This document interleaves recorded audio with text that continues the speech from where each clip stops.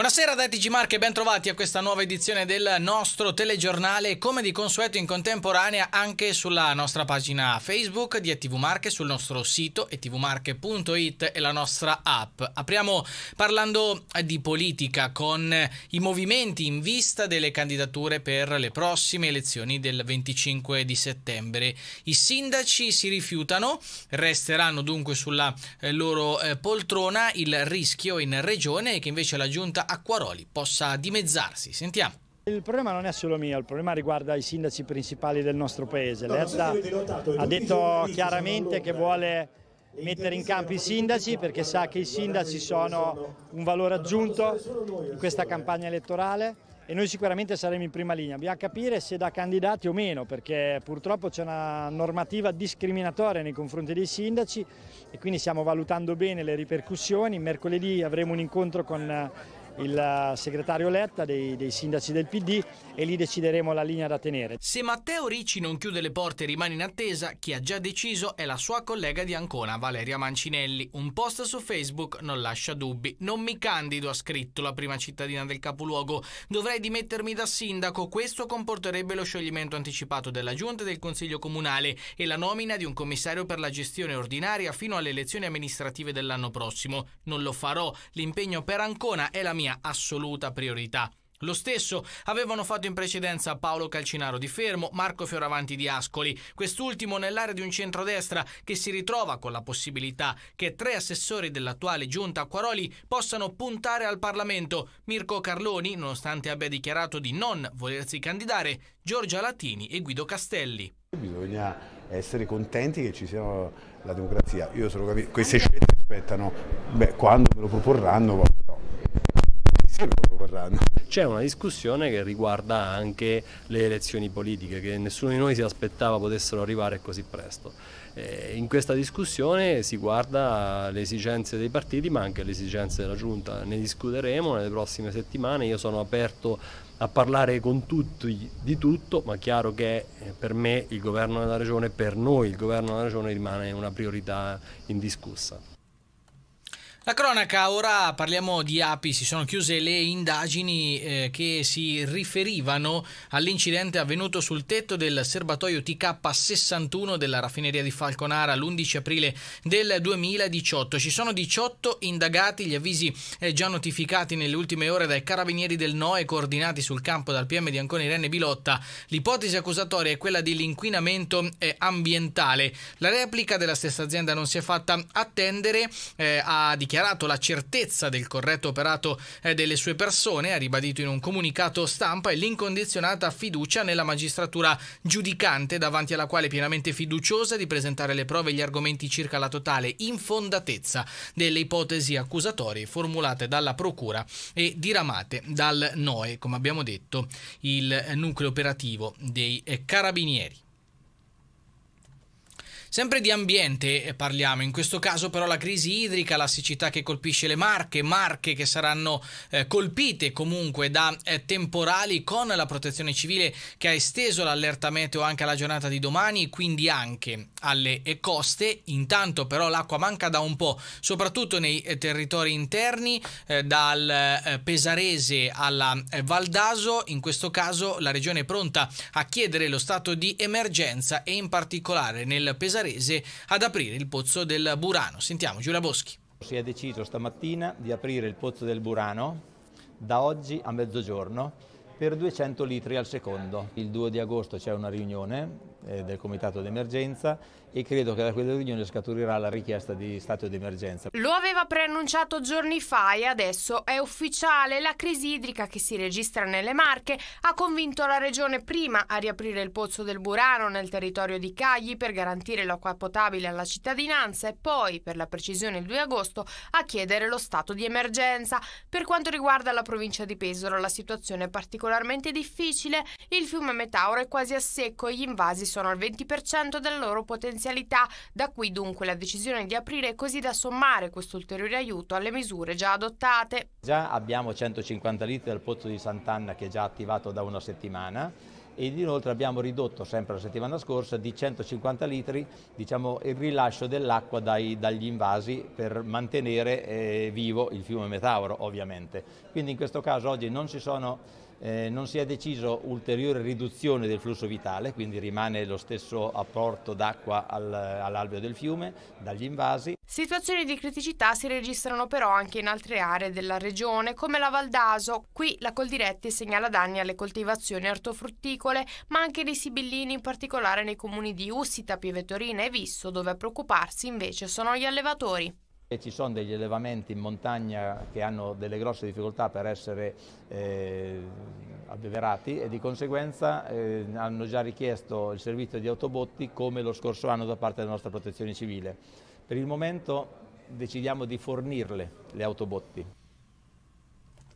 Altro tema caldo, quello della sanità con la giunta Acquaroli pronta alla proposta di legge che riformerà il sistema della sanità eh, nelle Marche con quali tempi entro Ferragosto il cronoprogramma eh, del presidente stesso eh, Acquaroli dovrebbe arrivare nell'aula del Consiglio. Via libera la proposta di legge che ridisegna l'assetto dell'organizzazione sanitaria regionale. La Commissione Sanità ha infatti approvato a maggioranza la proposta di legge 128 che porterebbe all'abolizione dell'ASUR. Nel quadro generale della proposta di legge, ad iniziativa della Giunta regionale, regioni, comuni, enti del servizio ed Agenzia regionale sanitaria avranno il compito di provvedere allo svolgimento delle funzioni in materia di sanità. Previsti anche organismi di controllo e partecipazione partecipazione come la conferenza dei sindaci. La riforma rimette ordine in un sistema mh, piuttosto confuso di un'area di una unica azienda regionale, qui serve anche intervenire in modo tale che ci sia una capacità di organizzazione della sanità a livello dimensionale aziendale più basso. Occorre immaginare quindi l'organizzazione sanitaria come se fosse un'azienda privata, tant'è vero che si applica il codice civile e le norme che gli imprenditori dovrebbero usare nella organizzazione aziendale per la produzione di beni e servizi. Quindi io penso che attraverso una riduzione eh, e una diretta corresponsabilità tra eh, la domanda e l'organizzazione che i dirigenti devono offrire ai cittadini ci sia una risposta migliore rispetto all'attuale. E anche caos personale, troppi medici in pensione quest'anno rispetto ai sanitari protagonisti di assunzione. Per la stagione estiva del pronto soccorso l'unica risorsa disponibile è quella delle cooperative. Siccome eh, c'è stata una cattiva programmazione del personale, non troviamo i medici, i medici che vanno in pensione quest'anno sono maggiori dei medici che sono sfornati dalle università e dovendo quest'estate garantire il riposo e le ferie a tutto il personale, le uniche risorse disponibili mediche e sanitarie per i pronti soccorsi sono costituite dalle cooperative. Dopodiché c'è un'intrinseca contraddizione che il governo ancora non ha cambiato, per cui il pubblico non può chiamare i pensionati medici oltre 70 anni, ma possiamo invece chiamarli a lavorare con le cooperative pagando praticamente il doppio. Io credo che prima o dopo questo nodo debba essere sciolto. Cantieri e ritardi sono anche una eh, fase indispensabile nel progetto più ampio di riqualificazione del quartiere Archi di Ancona. L'amministrazione comunale fa il punto dei lavori. Sentiamo. Oggi c'è il lavoro complesso dei cantieri, però è una fase, una fase intermedia che poi porterà alla ricostruzione di un'immagine complessiva di quel quartiere e anche di sostanza, eh, perché ci sono anche tanti interventi concepiti sul sociale che saranno un bellissimo risultato. L'assessore al piano strategico di Ancona, Ida Simonella, ha fiducia nella riqualificazione del quartiere degli Archi. I ritardi dei cantieri e i disagi provocati sono solo una fase. L'obiettivo del bando periferie resta quello di migliorare la qualità della vita, nonostante le difficoltà non siano state affatto poche. I ritardi dei cantieri sono collegati all'incertezza dei tempi. La pandemia e la crisi per il reperimento delle materie prime hanno contribuito alle difficoltà di rispettare le scadenze prestabilite. Due anni di Covid, problema di reperimento dei materiali, problemi di costo dei materiali, problemi di ricerca delle maestranze, chiaramente non possiamo dire che questi, questi lavori siano andati avanti normalmente, anzi sono andati avanti con molto affanno. Gli archi come vedete eh, stanno procedendo, stanno procedendo abbastanza bene, fermo restando su tutto quello che è l'incertezza di alcuni materiali, per esempio lì la palestra ha una copertura in legno e speriamo, no, ci auguriamo che questo materiale sia facilmente reperibile in questo momento. Per via 29 settembre eh, noi contiamo di poter completare questi lavori no, della nuova balaustra e della mm, sistemazione della pavimentazione attorno a Porta Pia e intorno a Largo Traiano di completarli entro ottobre. Per quanto riguarda l'autostazione del Verrocchio ci sono stati iniziali rallentamenti relativi ai ponteggi che non erano sufficienti. Ad oggi però l'attività del cantiere sta procedendo regolarmente e si spera presto di arrivare alla realizzazione dell'autostazione che faciliti una viabilità comoda ed ecosostenibile per tutti i cittadini. Cambiamo argomento, una maxi installazione con dedica speciale ad uno dei simboli del motociclismo mondiale ma pesarese di nascita. Stiamo parlando chiaramente di Valentino Rossi a cui l'amministrazione comunale eh, capeggiata dal sindaco Matteo Ricci ha dedicato per l'appunto, inaugurandola nel pomeriggio eh, di ieri, un'installazione, un casco da leggenda. Sono sempre stato un grande appassionato di caschi, quindi è una bellissima idea abbiamo deciso di, di, fare questa grafica qui, ce ne sono state tante famose diciamo durante la mia carriera, però a me questa piace molto e poi c'è scritto Valentino Rossi dietro, quindi si riconosce che è il mio. Ecco.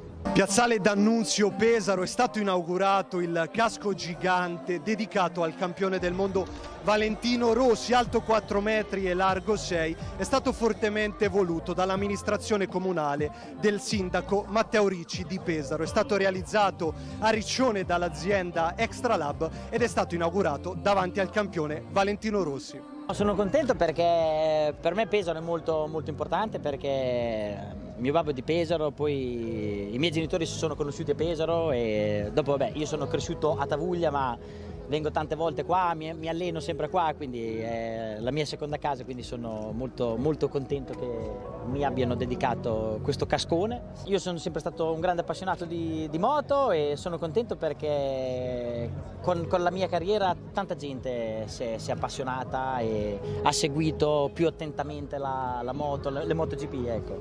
E poi adesso abbiamo tanti piloti giovani che, che corrono per noi, abbiamo il team in, in MotoGP, quindi spero che tutti i tifosi continuino a guardare le gare e a fare il tifo. Il casco è stato ingegnerizzato, immaginate che io eh, Valentino ha scelto il casco che più lo rappresentava, me l'ha dato gelosamente sotto scorta, l'ho portato a ingegnerizzarlo, cioè è stato passato a uno scanner laser e alla fine è venuto fuori allora, um, il casco delle dimensioni che doveva essere. Si vedranno gli occhi di Valentino nella visiera, è vero? Allora, questa è una diatriba che però io devo ah, svelarvi perché molti mi chiedono di questo sguardo. Voi non vedete mai lo sguardo di Valentino in pista. Eh, È più bello immaginarlo il suo sguardo. E quindi vi dico subito che questo non ci sarà.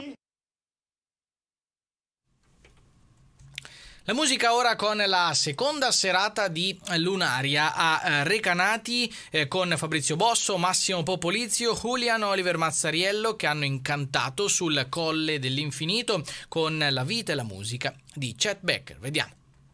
Aspettiamo con ansia a questo punto anche Irene Grande sempre eh, in piazza Giacomo Leopardi che sarà il terzo appuntamento del finale di Lunaria. Partiamo dalla fine con l'assessore Rita Soccio che ci ricorda l'ultimo appuntamento con Lunaria di giovedì prossimo 28 luglio con il concerto di Irene Grandi in piazza Leopardi, ma la serata andata in scena all'Orto dell'Infinito è stata memorabile con l'omaggio a Chate Baker grazie alla voce di Massimo Popolizio, alla grande tromba di Fabrizio Bosso e alle note del pianoforte di Giulian Oliver Mazzariello. Un viaggio nei colori della musica e della vita della leggenda del jazz nello spettacolo Shadows. Serata eccezionale eh, nostra, della nostra programmazione, d'altra parte Lunaria da sempre è eh, come progetto artistico eh, fatta da parole e musica e devo dire che questo si è perfettamente rispettato in questa serata. E fu dopo un paio di discussioni in famiglia che decisi di entrare nell'esercito. Avevo 16 anni. Quando hai a che fare veramente con dei maestri del jazz come loro, devi volare alto, devi volare qua ce ne sono tre perché c'è anche Chet Baker, cioè comunque parli di mostri. Popolizio torna a Recanati dopo aver girato qui il film di Mario Martone, il giovane favoloso nei panni di Monaldo, padre di Giacomo. Questa eh, provincia, la chiamo provincia, ma è quella che tiene di più, secondo me, le, le reti dell'Italia. Cioè la vera vita sta qua, non sta più nelle città. Io vivo a Roma, ho vissuto tanto a Milano, ma la vera vita, i veri rapporti personali, anche la vera cultura, in realtà si respira oggi più che mai in una certa provincia, Recanati è quella. Fabrizio Bosso infine esalta proprio la performance dell'attore e anticipa, chissà, future collaborazioni. E la cosa bella è che lui diventa un terzo musicista in alcuni momenti, eh, come si può sentire va in, in, sui testi, intona magari alcune note venendo dietro noi. Eh, questa è una cosa molto bella e ci ha dato molto relax fin dall'inizio, cioè una cosa che è partita senza problemi e sta andando avanti senza problemi. Speriamo di poterne fare tante altre e anche lavorare su nuovi progetti probabilmente. Noi siamo in chiusura, vi ricordiamo che come di consueto le notizie le trovate pubblicate sul nostro sito tvmarche.it ma anche sulla nostra pagina Facebook di ATV. Grazie per l'attenzione e l'augurio e di una buona serata in compagnia dei nostri programmi. Arrivederci.